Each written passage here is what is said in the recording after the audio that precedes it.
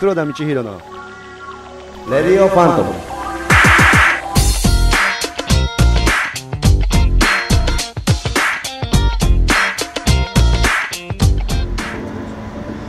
皆さんこんばんは。ラジオファントム改め TV ファントム今夜も公開です。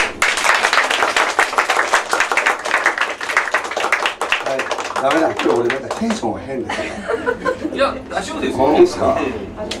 なんかねあのー、ねちょっと前ライブやってそこからもう曲を1曲作ったかな。で今日歌詞書いててなんかもうようわからん。頭の中がさすごいこういろんな妄想が繰り広げられてて。だから今今はすごいね喋ることが楽しすぎて今日は多分なんか放送事故とかあるかも。言っちゃいけない。この間の MC みたいに言っちゃいけないことを。やめてください。その時はもう瞬時にピーって言うてよ。もう言っちゃ言っちゃった時点でもうピー遅いでしょ僕がピーだよ。ねえ。はいということで、えー、今夜も楽しくね、えー皆さんと一緒に盛り上がっていきたいなと思います紹介します、えー、もうアシスタントレギュラーの江草一平君です。こんばんは。そして今日は一人プロモーションはい、ですよね。えーキャンペーンにやってまいりました。タコスナミです。イエーイ。直美さんもね、はい。ね頑張ってねアルバムをねねえ、作りまして。はい。うん。頑張って作りまして。ななんかもう好評らしくてはい。おかげさまで、いっぱい売れてるんですか？そうでもないです。えー、でも売れてるでしょあーもっとねもっとそうそうそうそう。もっとみんなに届け届け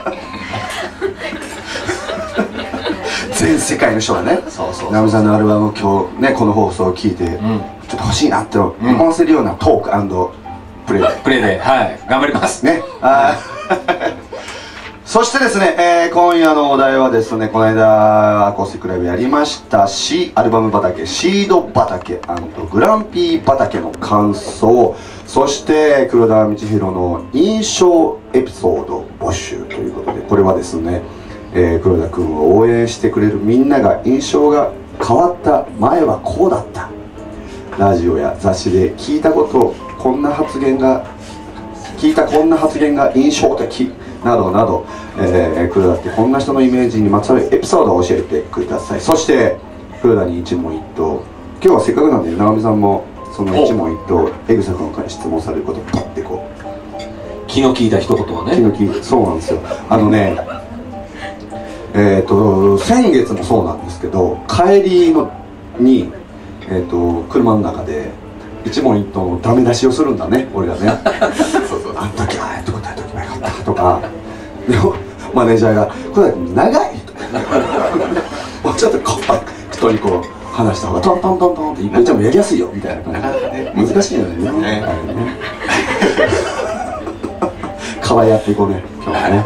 今日はなるべくねポンポンっていけるように。頑張ります。はい。ということで、えーこの番組はみんなのオアシスロックバーびっくりマークからお送りします、えーそれでは今夜の1曲目「レディーゴー」どうぞ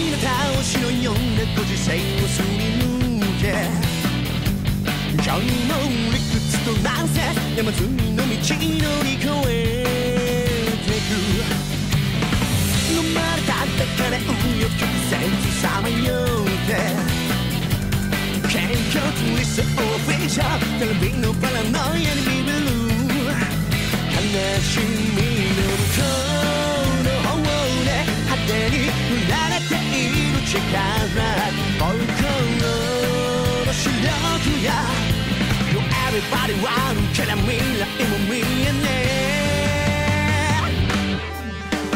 って広げて初めて信じの手歩きの風に乗せた果てない想いがわがまま言うから Let it go, let it go. 旅するんだ夢見た場所と違う場所に出て明日を変えてくのささまよう時代のないものねなりに Let it go, let it go. ふらつかずに My life, your life. This is a twin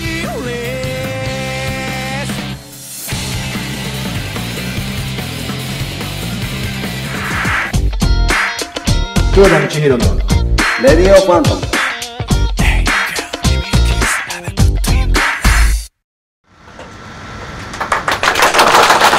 ただい。た時はレディーゴーでしたはい。ね今見てもらった「レディーゴー」えーなんか自分的にはつい。最近の曲な感じもしますけれどまだクロックスじゃなかったんだもんねそうですねこれえ何年前です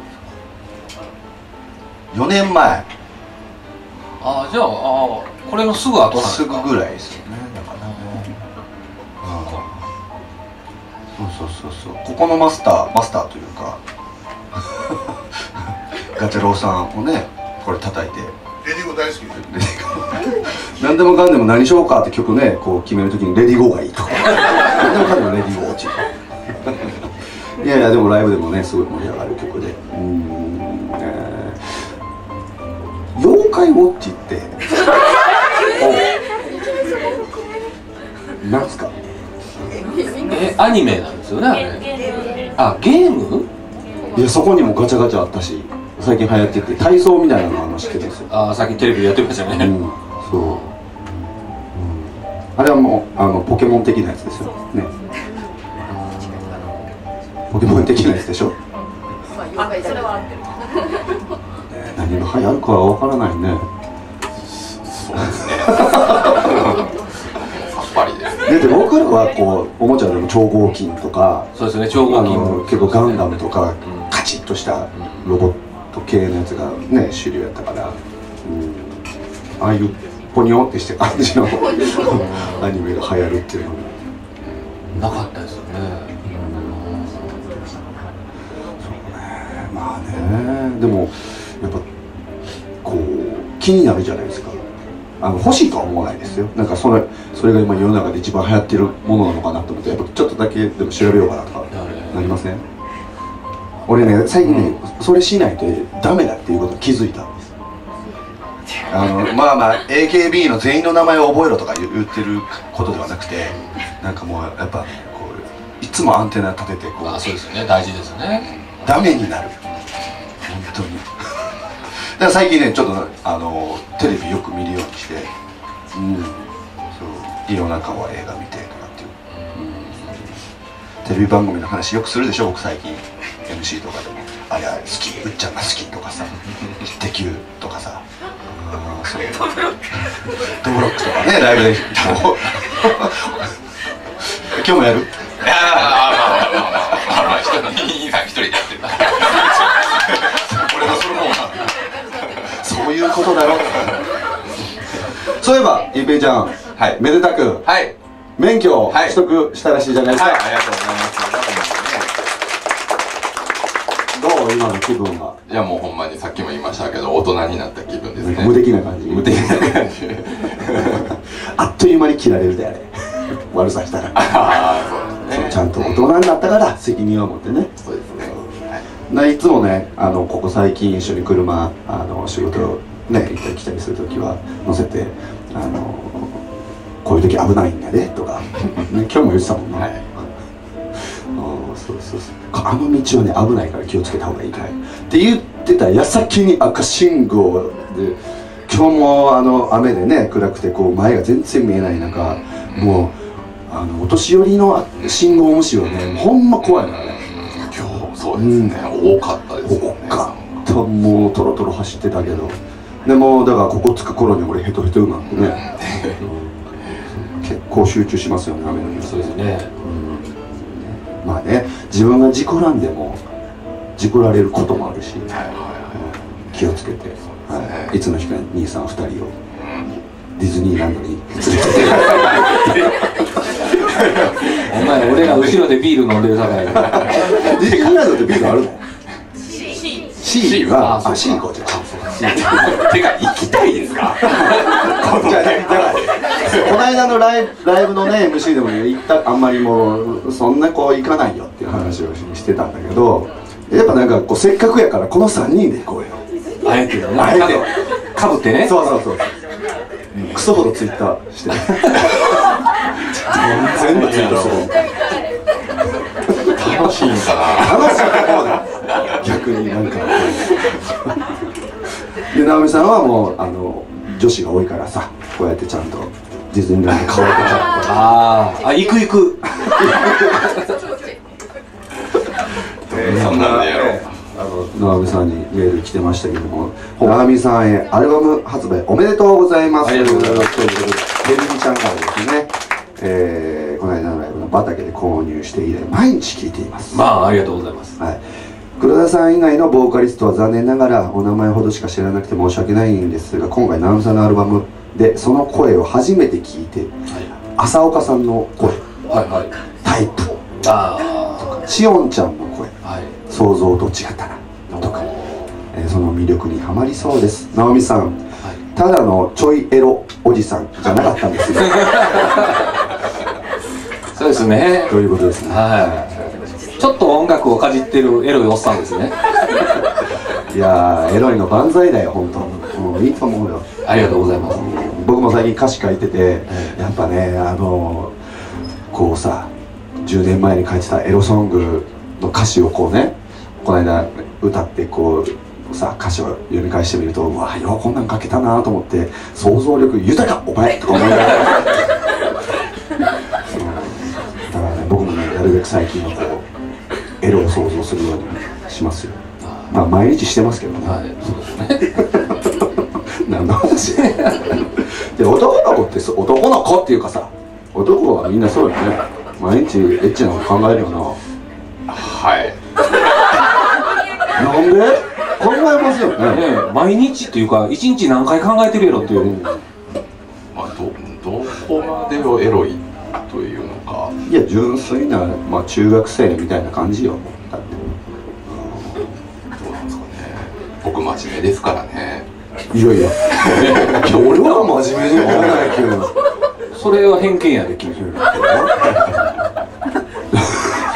ってあのー女子たちも絶対男子がエロい方がいいと思う。よ好きだと思うよ。なるほど。いやいろんなことをさ。いろんないろんなねことを。ね。いろんなことを。あんなことから。ね。ね。そうそう。ちゃんとねエロをね。はい。あのき君の命が果てるまでちゃんとはい。エロをさ、はい。ちゃんと。えエロ？ちゃんと。すみません。はいえー、それでは本日のお題一つ目ですね、えーこの間のアコースティックライブ畑の感想です。ラジオネームマリーナちゃんです。ありがとうございます、えーこんばんは。黒田さんシード畑参加しました。もう10年も前なんですね。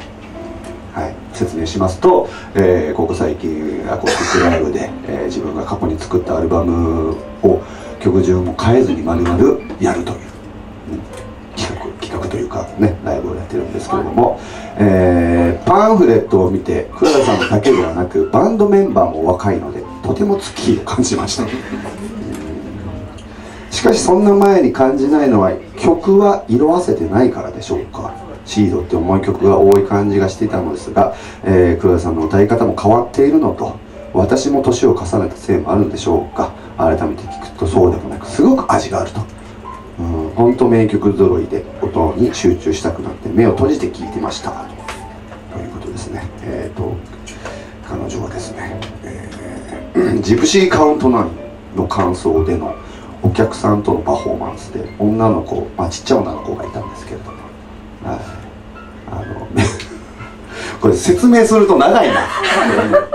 知らない人もたくさんいるんですけど。まああのジプシーカウント9という、まあ、曲があってさっき話したそのえ、まあ、僕なりのエロソングというか、うん、それがありまして、えー歌詞もさることながらパフォーマンスもまあまああのちょっと癖のあるトリッキーな。ちゃんと見てなかったでしょあれ僕。あれ？まあできてなかったですけどね。ここに来てやってたのはあれがえそれ中だかなその曲と。前に行ったりとかまあこの辺とかでやってましたけれどもまあバンドライブでやるとねしこたま動くんでいろいろ。はい。はいだからまあそのパフォーマンスでネネクタイプレーがあるんですよ。ネクタイをこうあの 女子のね女子にこうかけてあげて僕の懐に持ってくるっていう。懐じゃない。なんて言えばいいのもうちょっと下の方に。そういうプレープレープレーいや立派なプレーですね。プレーです。プレーです。プレープレーです。本番中に本番のプレーをするっていうそれをやっぱあのちっちゃい子が来てたんでこう目をこう隠してね見ないでって言っちゃったらあのお笑いびっくりした。その子にやったんかな捕まる捕まる。僕後ろの方で見てたんでああそうかそうか。なんかもそもそしてるな。今度やってあげる今度やってあげるわりえちゃんです。ありがとうございます、えーシード畑の感想。シード畑すごくかっこよかったです。1曲目が「林道」ということもあって、えー黒田さんの雰囲気も少し違うように見えましたシードは好きな曲ばかりなので畑でやってもらえてとても嬉しいです。という林道ね。うん。あのまあライブの1曲目にやるっていうのはなかなか難しかったですよね。もうだからあの会場入る時から若干自分の中で空気作らない。はい。えー、そしてホットショコラちゃんです。ありがとうございます。15日のグランピー畑が畑デビューでした。がおあ違う。ごめんなさいね。11月15日のあそうか。ごめんなさいね。前のね、はい。えーのんびりアットホームなトークと、えー演奏時の3人のギャップに驚きかっこよさを感じました。違いますね。その時の話ですね。はい、もういいです。すいません。ごめんなさいね。はい。当てにならない私の日曜日大好きな曲です。ということです。はいありがとうございます。うん。ごめんなさい。俺も何を言ったのか全然分かってない。ですけど、はい、デビューしたんですよ。畑デビュー。はい、ええー、さとみちゃんです。ありがとうございます。シード畑いつもにまして真剣なリンクの目がちょっと怖いくらい迫力。あふれてかっこいいライブでした、えー個人的にはアルバム畑の中で楽しみにしてたのがグランピー畑、うん最近のアルバムではあるけれど最近あまりやっていなかった曲たちが聴けて嬉しかったです。ということですね。まさかのアレンジのキャノンボールは歌詞とメロディーだけが同じで別曲を聴いているみたいでした。ということです、はい、裸のダイヤモンド。やっぱりいいです。えー、と畑2日間ありまして、えー、と1日目が、えー10年前2004年に出した「シードというアルバム、えーそして翌日が、えー2012年、うん、に出した「グランピーダイヤモンド」という、はい。ねまあどうでしたか直美さんシード。初めてな曲がね多かったから。5曲6曲かな初めて。でしかもそのアコースティックでどないすんねんっていうね曲が多かったんでまあただ救いはねあのバンマスがいてくれたっていうところですね。森派もね全部仕切って。くれても話が早かったですね。直美ちゃんこここうこう弾いてってかいうね。スムーズでしたよね。直美さんだからその日リハの日「はいはい」しか聞いてない。よねそうです直美さんの声こっちからの提案って何一つしてない。ね。そうそうそう。うんまあでも本当やりがいのあるそうですね。緊張感半端なかったようん。いや僕も本当あのツイッターに書きましたけどやっぱこうのらりくらりとやってられないシード畑、うん。緊張僕はね緊張よりもね楽しみでしょうがなかったんですよあれ、まあ、自分でまあある程度ある程度っていうか練習して。うーんなんかその日は4人でねリズムののドラムのやつさんも参加してくれて、いやほぼ歌ってない曲もねたくさんあったから、うん、なんかあやっと歌えるんだと思って、うん。ね面白かったですね。でアンケートにはあのシードをやったその日のアンケートにはまたやってくださいっていうのがすごく多くて。あんなもん 毎回できるかって。大変なのよ本当ねあれ、えー、そしてポモナちゃんです。ありがとうございます。グランピー畑への感想。5ヶ月ぶりに参加しました。初のアルバム畑でした。グランピーは好きなアルバムの一つなので楽しみにしてましたよ。ドキドキしたり笑ったり胸が締め付けられたりと心を揺れ動きながらも充実した素敵な時間をありがとうございました。ということですね。はい。あそして彼女もその会場近くの居酒屋に行ったっぽいですね。写真が。見覚えがあるぞそれ。そのことにあの最近ライブ会場の近くにある居酒屋さんに僕らもねしょっちゅう行って、うん、ボトルを入れて「チーム黒だ」って書いて、うん、飲みたい人は飲んでください。でもなくなったら入れと入れとけよっていう一言を書いといたらこの間行ったら何本でしたっけ？えーナンバー10まで行ったんでしたっけ？え？今14です。10ナンバー14そんなに言ってんだから結局その飲まなかったんでしょ？飲んでないんでしょ？だから新しいものを入れてるってこと？飲んで？でも俺らこの間行った時ボトル全部入ってたよねなんか。うん。いっぱい残ってた、今日ただ？とか思いながらね お店の人もね感謝してくれてました。そりゃねで花ちゃんです。ありがとうございます。えーこれシードですね。10年前というと社会人4年目。当時は仕事の悩みだらけでリンクのライブに行ってはパワーチャージをしたものですと。今は結婚して一児の母になった、えー親友とはシードツアーの大阪名古屋でも翌月のヤンワンダフルライフでも、えー仕事が辛くて泣いてたいよね。でも昨日のことのように感じられるくらい楽しいツアーだったね。と、えー今では笑って話せるいい思い出ですということですね。はい。で、えー大切な親友との大事な、え思い出がたくさん詰まっているシード。あれから10年経つんだなとびっくりしつつ42のリンクの歌声がまた心に染みて満たされて癒されて同じ歌でも、えこんなに歌い方が変わるんだ。深いなと幸せな2時間でした。ということです、えーえーハートの歌い出しなんかちょっとずるい。ね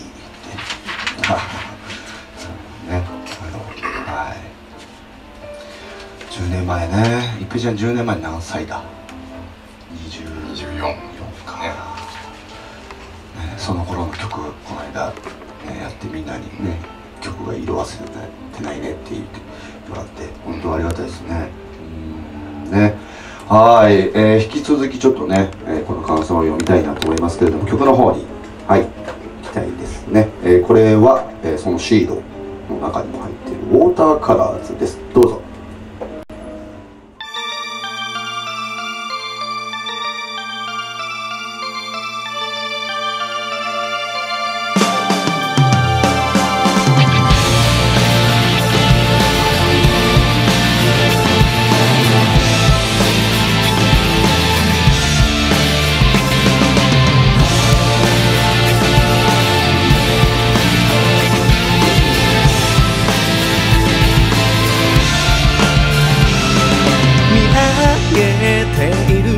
星も月も何億年前からずっと変わることなく輝いているのをなぜだか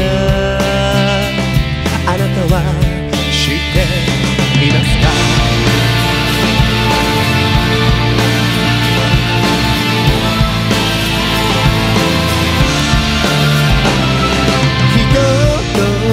人が愛を求めたり憎しんだり笑った時何のために僕らから涙がこぼれるのか考えたことありますか夢を実らせるために水をあげようの旅路に迷わぬよ光が照らしてくれているから一人で泣かなくていいように繋がっているんだこの地球の同じ水に生まれ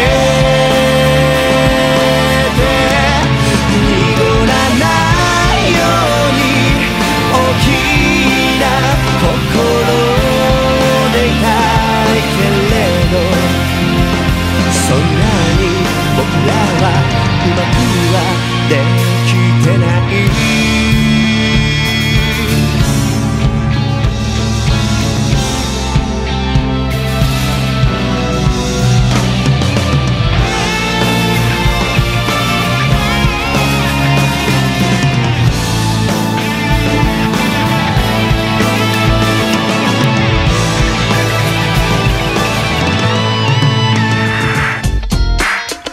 黒田千尋のレディオファントム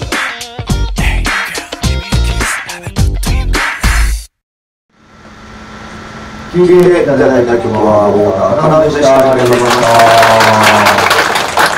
たまあなんか会場からは若い。若い。と言われながらあのー、今目の前に今の僕がい。るので比べられるとちょっと辛い。んですけれどもはい。ねえー、引き続きね、えー、きましょう、10えー、と水江さんですね。ありがとうございます。10年前シードが出る前にシングルで「エモーションウォーターカラーズが発売されてえーその時にスピード感ある曲と優しいバラードだったので勝手に次のアルバムは華やかな感じだろうと思っていたのですがシードが発売される前にネットで、え全曲視聴して、えー披露されダークで重くて個性的で予想外の衝撃を当時受けました、でも聴けば聴くほどすごく好きなアルバムでアルバム畑の中で一番楽しみにしてましたということですね、えーコースティックレブン、えー衝撃受けて特に幸せの糸、はい。えー心臓がぐさぐさと揺さぶられライブが終わる頃にはシードの曲たちの、えーイケメン具合に惚れ直しましたということです。幸せの糸ね。あれはだからまあ僕らも、まあ、MC でも言いましたけれども、えー他にロッカバラードがたくさん出てきてなかなかやる機会がなかったっていうのもありますし、うん、あとは難しいっていう。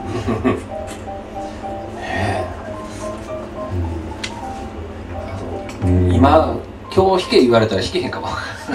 俺も今日歌いし今歌ってたら歌えないかもしれない。ななんだろうねあれ。あれやる前すごい集中するもんね。あれはだって最初からあのギターね。ギターで始まるんだけど最初から裏で来るじゃないですか。あそうですね。頭じゃなくて「ガーガーガーガー」って。もうあれでもう拍取り間違える。ことはないけれど、うん。やっぱもう緊張しますよね。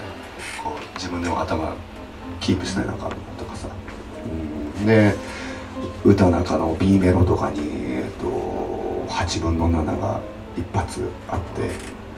うん難しいなあんなものを作ったのかな。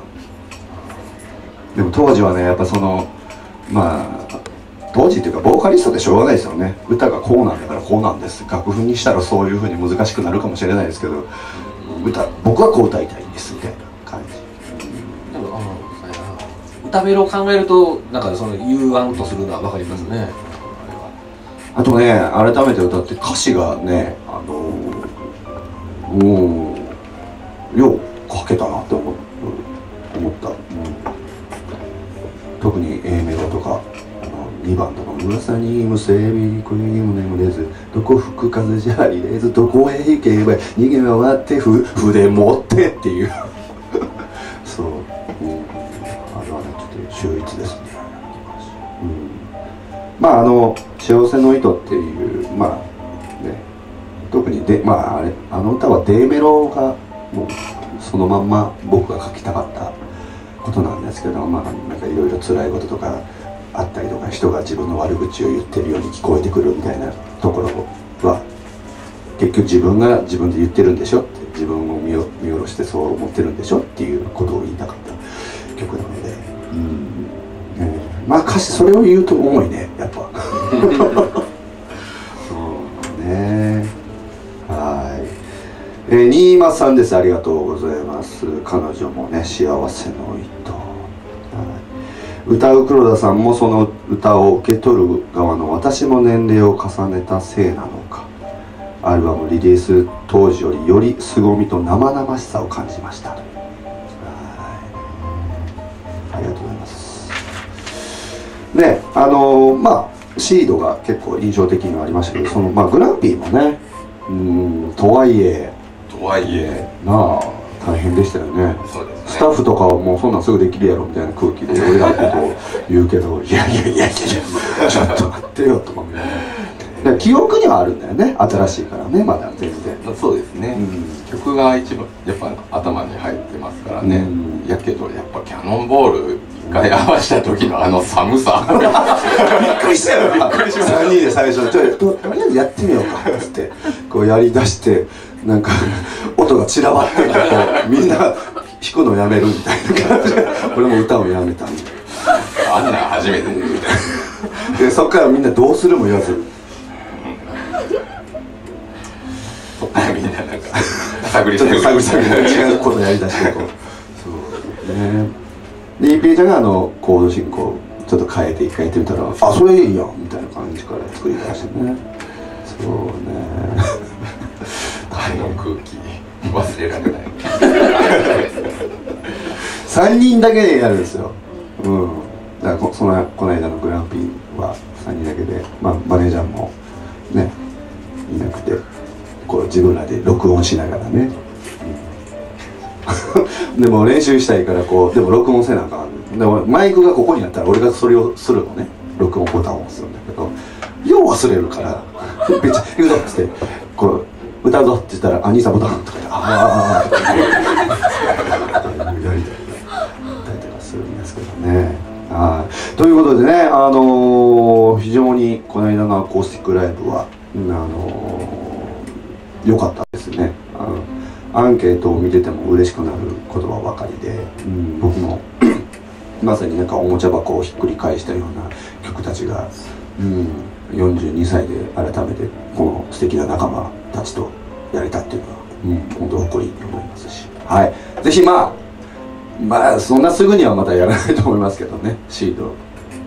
畑いつの日かまた。っていうかバンドでやろうか。ね。バンドでね、だってそもそもそのアルバム畑を企画したのもクロックスが知らない曲が多いからまずアコースティックでみんなちょっと曲を覚えて演奏してバンドでできるようになろうねっていうところからやりだしたのもあるのでね。もう大丈夫。ははい。えー、そしてですね本日2つ目の、はい、お題です、うん、あれ大丈夫？僕ばっかりずっと喋ってるけど。どうぞ。いやいやいや。科学の番組ですからねあ2人で番組やったらなんか。ええ。いやいや面白いよ。誰が見てくれんやろそれ。いや見れるんだよ ね見てくれる？で俺がこう準レギュラーでほぼ変わらないってい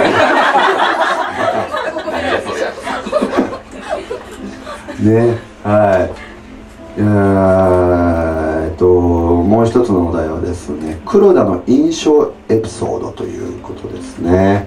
はい。これ面白かったですよ、えー、てるみちゃんです。ありがとうございます、えー、黒田の印象エピソード。私の黒田さんが変わったなと思うところは関西弁をよく使うようになったと思います、うん、昔は大阪公演ですら一言の関西弁も使ってくれなかなくて偽関西人とか言われ同じ関西人として寂しく思ってましたが、えー今は結構ね頻繁に使ってくれるので嬉しいです。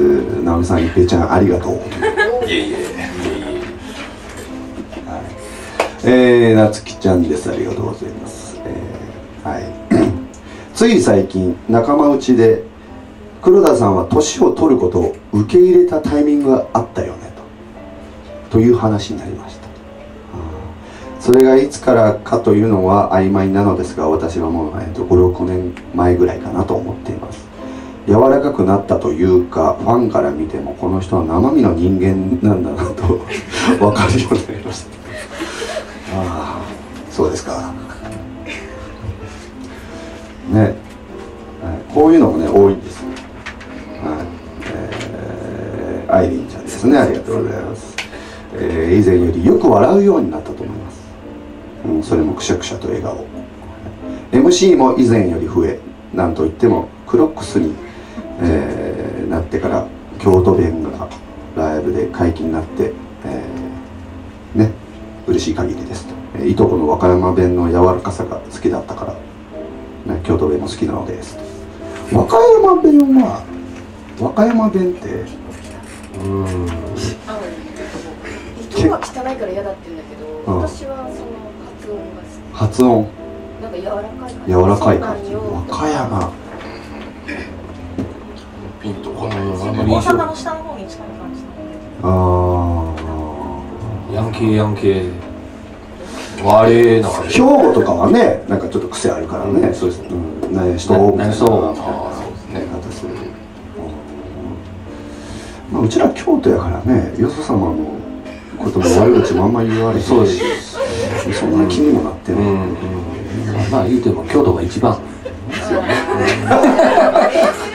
じゃそりゃでもほんまこんな感じですよね、うん。あの祇園の方の人とか。うん。あれ小学校の時とか遠足ってどこ行った？京都がなかったですね。奈良ばっかりでしたね。俺も奈良は一回ね行って和歌山和歌山和歌山はいかないかなな奈修学旅行が伊勢志摩ああ小学校ね僕も伊勢志摩僕もそうでしたね伊勢伊勢中学の時はねえっと富士山あたりですねあー僕東京来ましたよ東京は来てなかったです筑波博覧会いや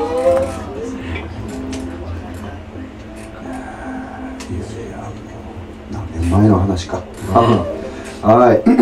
そしてえっ、とポモナちゃんです。ありがとうございます。アイスマンのデビュー当時からのファンですが当時はクールで寡黙でファンと一線を引いていたように感じてたのですがソロになってからファンとの交流を大切にしてコミュニケーションを取られているとお見受けしますと。ファンとしては断然今の方が嬉しいですが何か心境の変化というか変わろうという意識があったのですかと。おーねで新間さんも、えー優しくなりましたよねと。どんだけ細かく。満場一表情とか今はね表情とか喋り方とか眼差しとかエグさとか違いますね。仕草ですね。おおお、うんえー黒田さん的には、えー印象が丸くなったねって言われるの嫌いですかというねあこちゃんも。あね。うん。いやーどうなんでしょうね。あのね言うとまあ僕そんなにこう人と付き合うのが得意ではもともとちっちゃい頃からななかったんですよ。うん。だからまあ人嫌いではないんですけどどういうふうに喋っていいかがあんま分からなかったし、まあ、それでこそあのラブレター一つ書くのもねなかなかこう自分の表現もできなかったしでも歌うことだったらなんか好きだなみたいな感じで、うん、歌ってるんですけどで僕がね喋るようになったのはねあの一人で歌うようになって例えばインストアとか、うん、行った時にあまりにももう格好だけつけてると勝てなかったんですよ。昔やっぱ。あのやっぱりそのお客さん知らないお客さんをさこの歌でこう引き込むためにはなんかその聞いてもらうための準備をしてもらわなあかんっていう感じからちょっとずつこう話し出すようになってあでそこから話すのって楽しいなっていうことになったりとかあとはわびちゃんがねあのうちのバンマスがやっぱあの目の前にいる人が普通あのいつもいると思うなみたいな感じの要はちゃんとつかめってこう、うん、いうっていう話をすると「言ったっけ?」って言うんだけど大体何でそうんだけど。いやでもねバビちゃんに言われると結構クッてなるねうん、うん、めてたらあかんぞみたいなあのその後に言葉がついてきてるようにこう聞こえてくるから。だからそこからこういろいろ喋るようになったんで。それこそだって畑なんかで全然あの科目でさあんなんやってたらさみんなもう 面白くないでしょ。だって。いやまあね普段全然喋れへんからな。まあそうですね。なんかそういうたら今嘘みたいになってる。いや僕の最初のお会いした印象もそうでしたね。寡黙な方だなっていう印象でしたね。基本まあ基本無駄に喋りたくないっていう。喋りたくないいやなんか明日ライブとかリハとかやったらあんまり喉使いたくないなとかあったりとか。でもこの間2人で飲んではいはでね久しぶりに2人で飲んだか。いでもまなんかそっからいっぱい後輩来てあんのそうなね。はいごごちゃごちゃしてごちゃごちゃしてめんどくさとかまあ読んだ兄さんでしたけどね。ということでありがとうございますね。えっとあこちゃんは昔俺がかっこいいって言われるのが嫌とか頑張れって言われるのが嫌って言ってましたよ。まあまあそうね。なんか頑張れってみんなもそうじゃない頑張ってるわみたいな。でもそれしか日本語ないからさ。今はすごいこうありがたいなと思いますよ、うん、頑張りよって思う。えー、鳩まみちゃんもですね、えー、と最近はなんか気さくで男前なお兄さんがイメージになりましたね。って関西弁でよく喋ってくれるって。ありがとうございます。はい。あのー僕をか関西人にしてくれて。本当、えー、じゃあもう最近ではなあのうちのマネージャーもまあひどいよね関西弁。あの人、ねなんか寄ってくるとね。そう。いや最近いつもですよ。あシラフでも。うんあかんやんって合ってる？で、一平ちゃんがそれを鼻で笑う。しょっち。はい、ありがとうございました。えっ、と、それではね、曲3曲なんですけれども、えー今夜もせっかくメンバーがいるので、生歌を披露したいなと思います。えー今夜はですね、あの、えーせっかくなので、直美さんがね、ありがとうございます。アルバムを出したということで、えー僕もその中で1曲、はい、歌ってるのでその曲「プラスチックデザイア」ちょっと3人でやってみたいなと思います。はい準備しよう。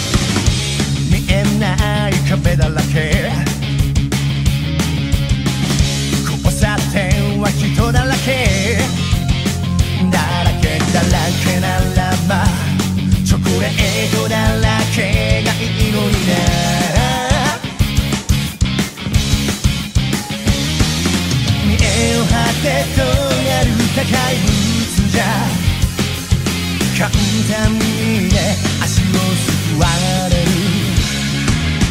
お金じゃないんだって羽のついたこのすり金ありだとパパとママには内緒の話。Yeah もう。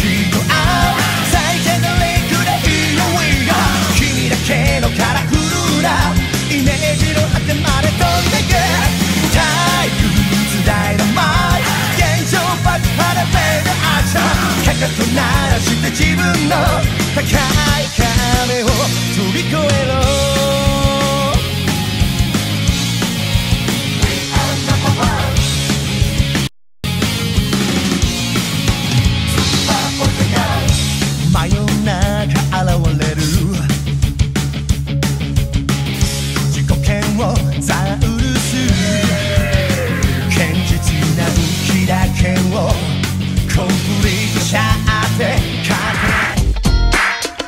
黒田道弘のレディオファントム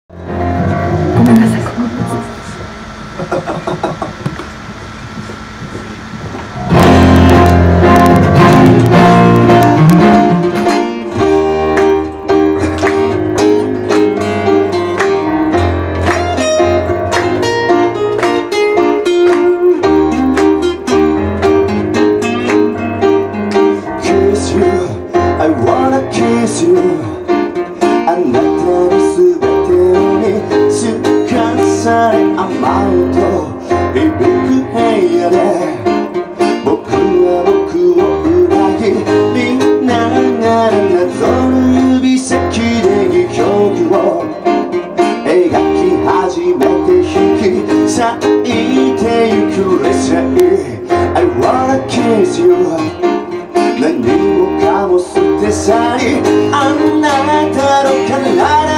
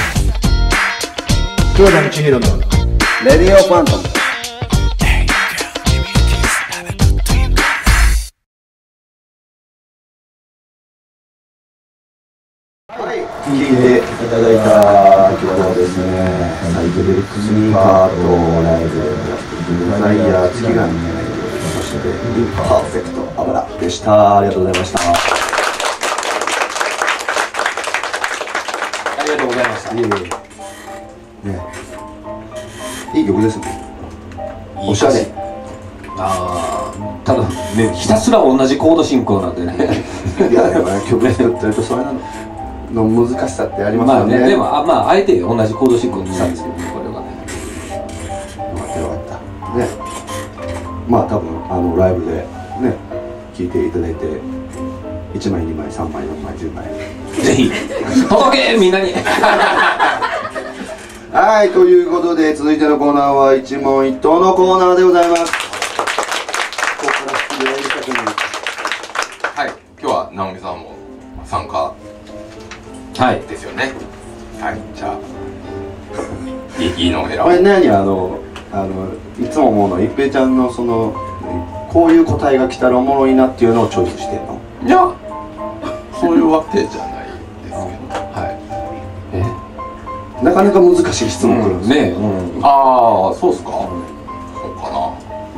こうかな。はい黒田道弘一問一答。あででんでで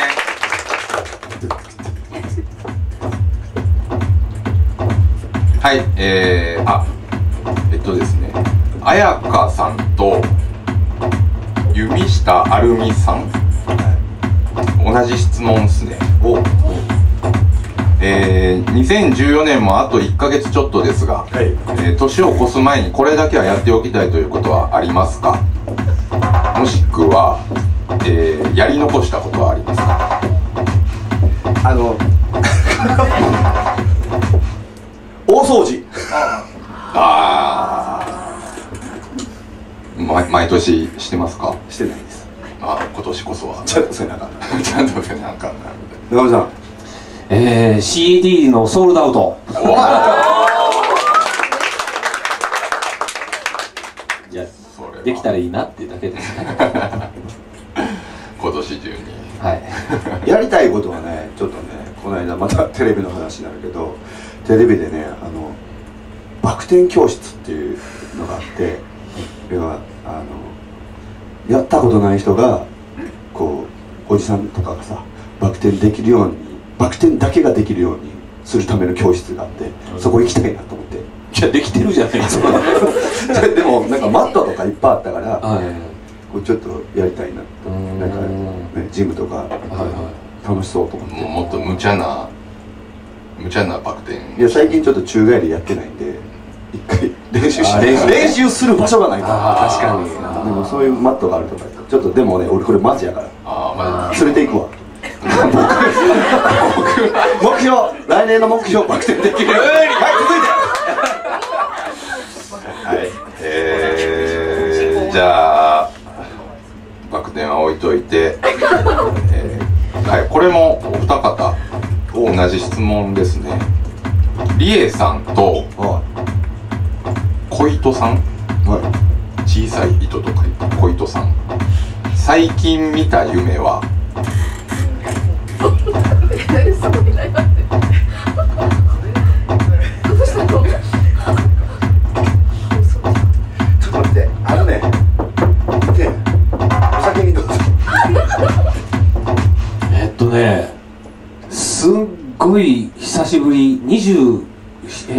何年30年近く会ってない人が夢に出てきてパッと顔見た瞬間に「うわ久しぶり!」って言ってる夢なんやけど起きたら起きてその人の顔を思い出せへん。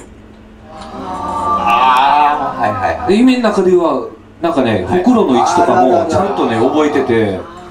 なんやけど起きてあれどんな顔やったっけって出てきいひんっていう夢がつい昨日おとついかなそれ。あるかも。僕はねあの思い出せないんですけどあのこの間あのね似たような感じで直美さんが出てきたんですけどお直美さんではないんです。よそれそれあのねじゃあ、まあ、例えば直美さんが僕の夢に出てきて、俺は直美さん直美さんって言ってるんだけど顔が違うの。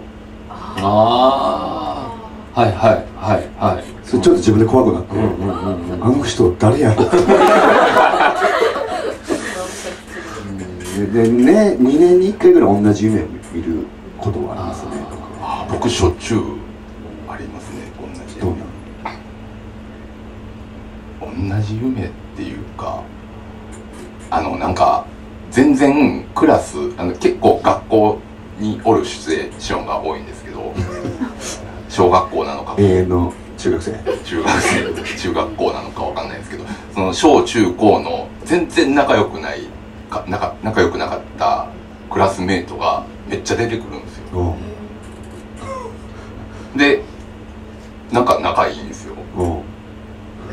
でまあそれそれこういう夢全然本当に顔だけはしうん。なんとなく覚えてるけどみたいなやつがめっちゃ出てくその時の顔なんでしょ？そうですそうです。でなんか夢占い的なや夢辞典みたいなんで調べたらそれそういう夢見るときはなんか自分が孤独って思ってる時に。お母さん息子さんが。でそういうなんかさっき、うん、今でも見るはい。じゃあはい3つ目、ね、じゃあ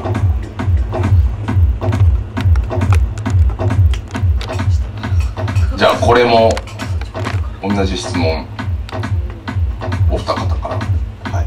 えー、弓下アルミさんとポモナさん、はいえー今おすすめのドラマはありますか？ハマってるドラマはありますか？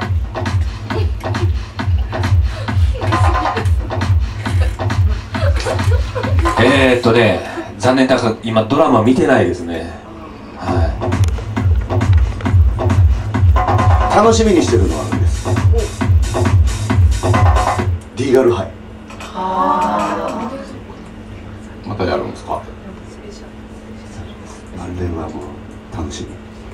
ってるリーガルハイ僕見てない見てないですよね残念じゃあ僕あの竹野内豊さんのタクシーのやつ見てます。あでもモズはそうだ。モズは撮ってる。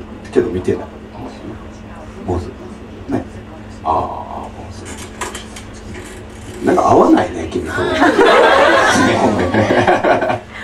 あなちゃんは結局。面白いですよねあのタクシーのやつ。タイトルわかんないですけど選択肢選択肢。え？選択肢。選択肢だ。あのバカリズムが脚本を書いてる。全然反応しないですね。面白いですよ。ねはい。はい。はいじゃああけびさん。はい。ん？あけあけびさん。今車を買おうとしたら何を買いますか？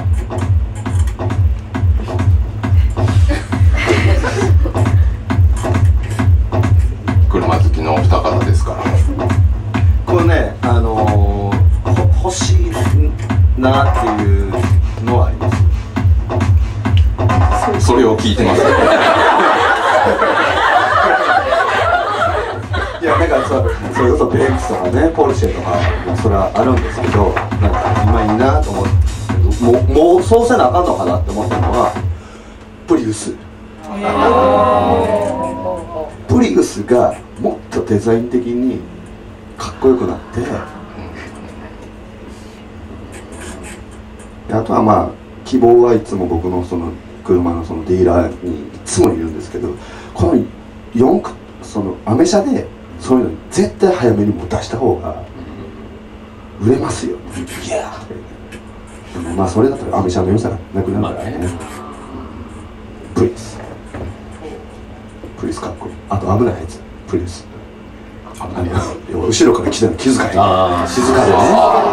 ねここで急にバーンってこの間鳴らされてはーとかなって。怖いですよねあれ。いいのか悪いのか。ナメさんは？僕はハイエースですね。あ言ってますよね。機材も人も。ハイエースいいもんね。で高い。高いそう。高いしそして売れる。うん。中古でも高い、ね、人気あるから。ツアーできちゃいますもんねあれ、うん。頑張って買ってリープさんに貸してあげようかなハイルーフでお願いします。ハイルーフでね。スーパーロングのハイルーフではい。じゃあ最後はい。最後、簡単なんがいいかな。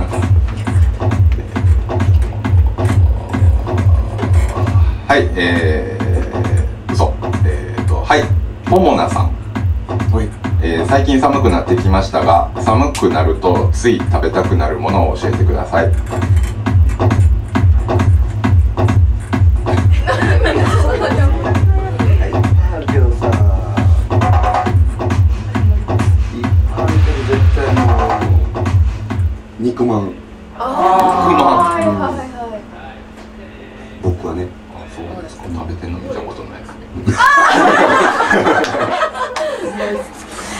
食べてるよこっそり。たまにはおかんが送る551食べてくださいね。いや違う。食べたいの。食べたいんだけどライブ終わりでいつももらうでしょ。いや終わりだと結構バタバタ挨拶行ったりとかさ。ねみんなのとこ行ったりとかさするから。で帰ってきた時にはもう冷めてるやん。ね。ほんでねこうやっさんがうまいわ言うて食ってるところでまた食うのがなんか悔しいの。だって俺あのなんかこう駅とかで買って帰ろうとああいやお母さんには悪いけどねいつもありがとうございます。僕はねえっとね、え2つあってローソンのえっとねもつ煮込み鍋。もつ鍋。あのね冷凍のところにあるローソンのそれとあとね京都のお雑煮白味噌の。うん餅なくてもいいし大根だけでもいいかも。です。美味しい。大根。あと鰹節パラパラっとして。パラパラぜひ作ってみてください、はいそれはローソン限定なんですか？そうさっきのその。もつ鍋多分ねローソンにしか売ってないですよねあれ。ぜひあのちょっと今日帰り買ってみてください。あのアルミのこの鍋。あー。あのうどんとかあるよ。そうそうそうそうそうそうそう。300円ぐらいのやつ。はいということで。はい。今日はポッパっていけたかな？ちょっと他の質問して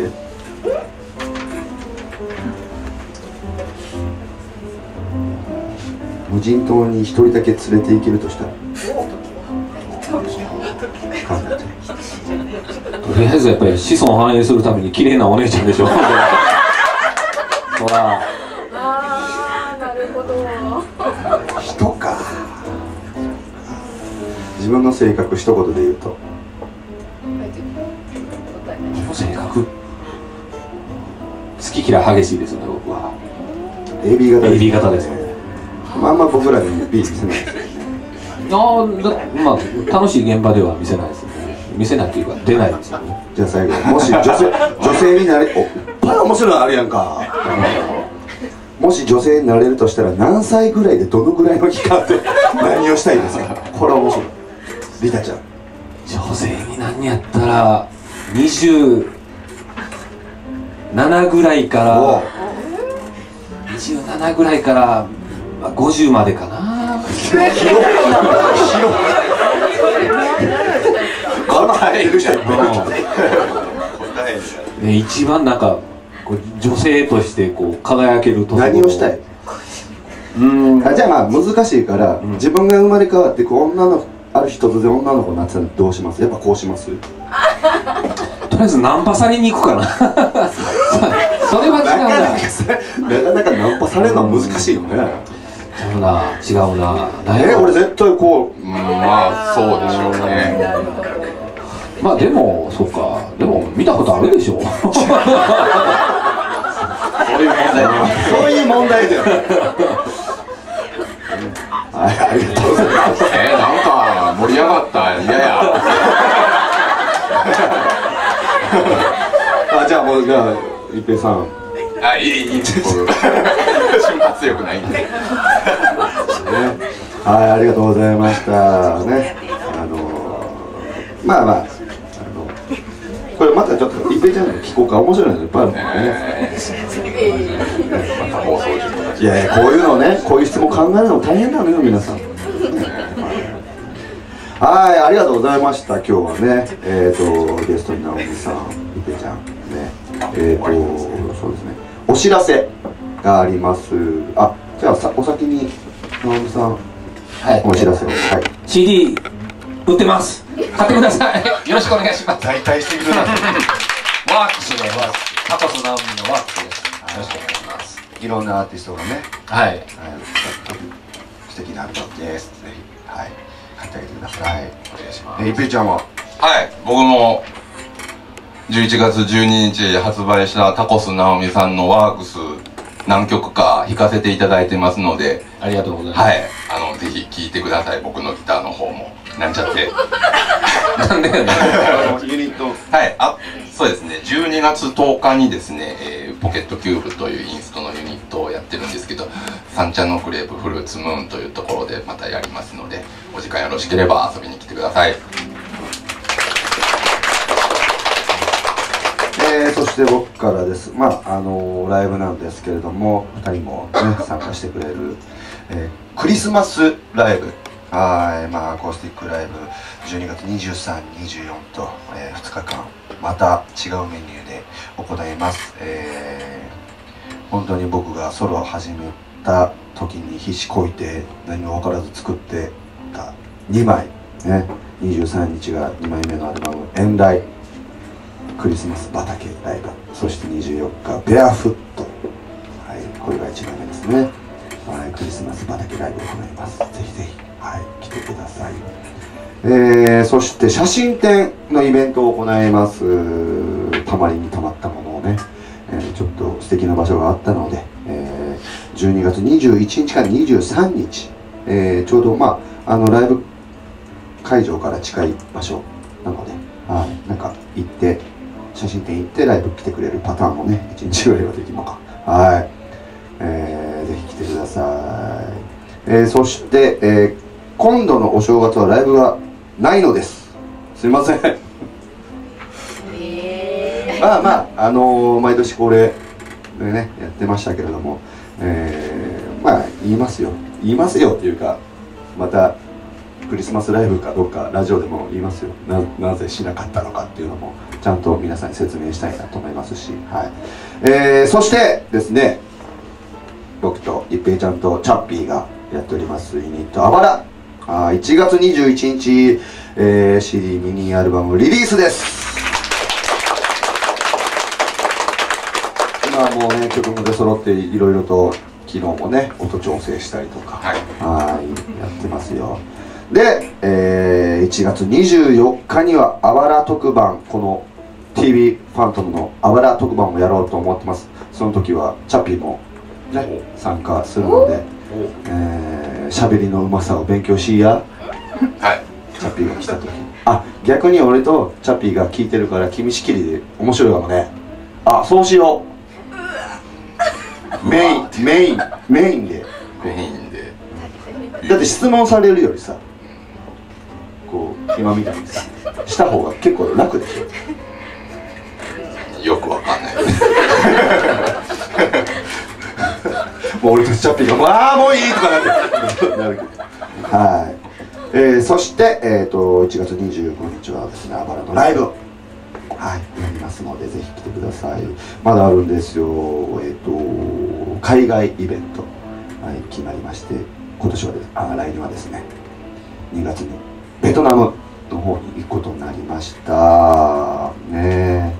えー最近こうベトナムの資料、まあ、本を読んだりとかネットで調べてくれてる、ね、皆さんもいるので、うん、なんか楽しみになってきましたね。はい。でイベントも、えー2月12日これいいいいですよね。えー、と2月12日出発と2月13日出発の2コース告知も始まりました。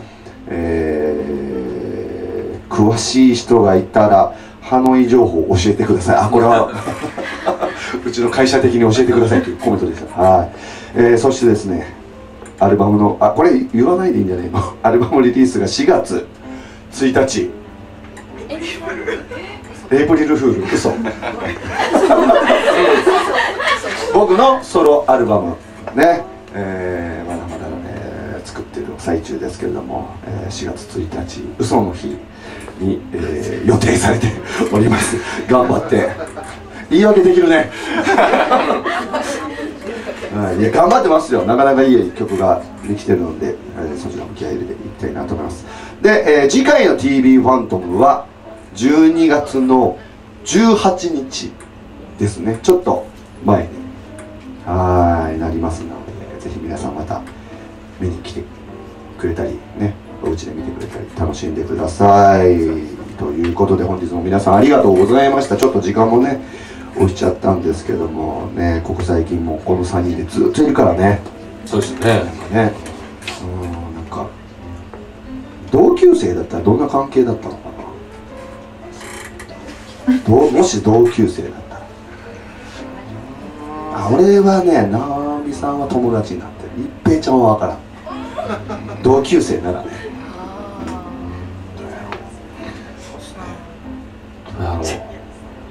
平ちゃんああ一平君って言ってる感じ？君ってこう。あよそよそしい。よそよそしい。一線引かれちゃってる。ああなんかそうですね。やんちゃしてそう。なんか一緒に。ここ？うん。でしょうね。